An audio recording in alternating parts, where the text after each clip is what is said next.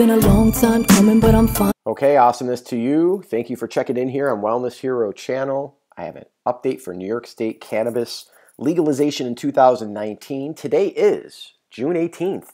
2019. And here on the 18th, we have two days left in the session for New York State's government before they go on summer vacation. As we approach summer solstice in the Northern Hemisphere, I'm sure that's what their intention was.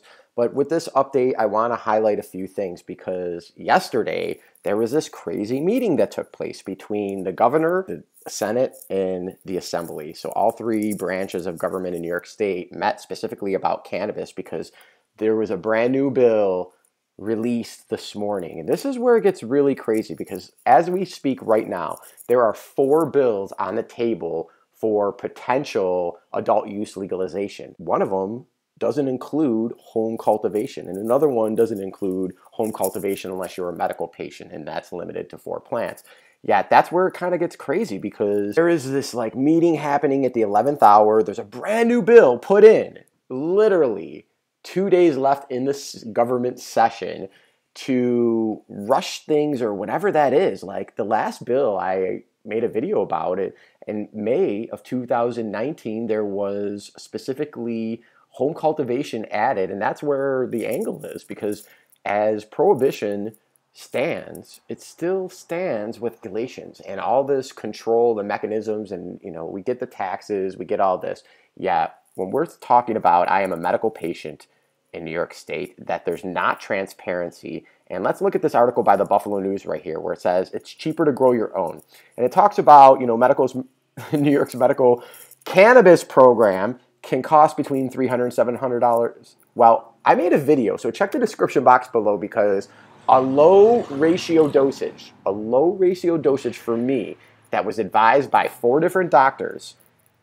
I started this at the dispensary. I went there in January of 2018 and it cost me over $800. So right here saying it's three to $700 for someone with a chronic condition that is completely not true. And when we look at is it risky to be growing cannabis at home?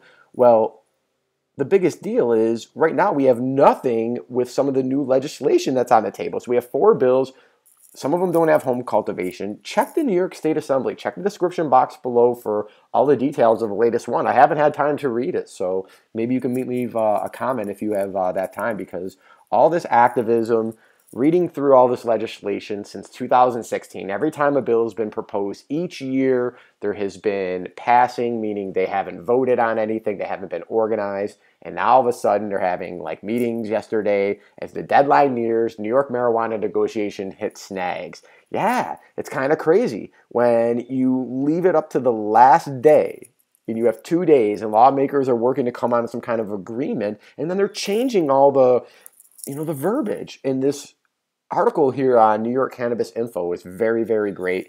Um, Rachel leaves a lot of good uh, links. And again, check the links in the description box below. But um, even mainstream fake news like the New York Times is publicizing that, oh, we're doing a little propaganda. It isn't dead yet.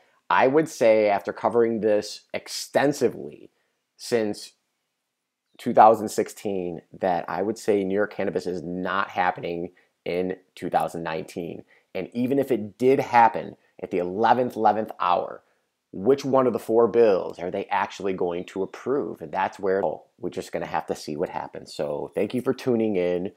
Again, it's June 18th. It's the 11th hour. New York State still has cannabis problems. There's four bills sitting on the table. There was a meeting yesterday. Check the description box below. Algorithm. Leave your digital imprint hit the thumbs up just because you're checking out some cannabis information. And it takes the resources, it takes your own education to further this because as we move forward with the secret plan, if you're a resident of New York State or you're kind of keeping up with uh, the current legislation state by state, it is a crazy crazy legalization process because even if things were to go legal in 2019, we wouldn't see stores opening for a minimum of two years. We can just look at Maine. they legalized in 2016. They still do not have stores open in 2019. So awesomeness to you. Gratitude. Thumbs up. Comment below. We don't know what's going to happen. We'll see on the summer solstice. We'll know if New York State did anything with these four bills, and there we go. In your ears. I got a smile on my face, cause my mission is clear. If you wanna touch base, I hope you listen and hear. Perfect timing, everything is in alignment. Walk with me, here's where you can find me